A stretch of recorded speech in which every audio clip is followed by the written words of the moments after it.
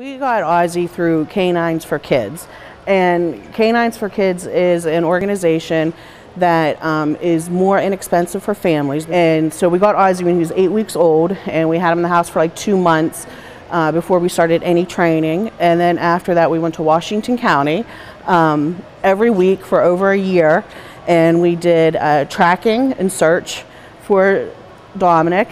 And then we also did obedience classes or service dog classes. So it was more inexpensive for families. And plus the bond that Dominic and Ozzie have is like they're like best friends. What he does for Dominic is kind of like what he's doing now. If we were to take this off, um, Dominic would just go. And Ozzie kind of like keeps Dominic right here so he has more freedom and it gives me more freedom. I'll show you what happens like if you take Dominic away from Ozzie, he goes crazy. So it's like something's going on. I know if Dominic like leaves the house or you know something like that because Ozzie will go crazy go barking. I'll take him.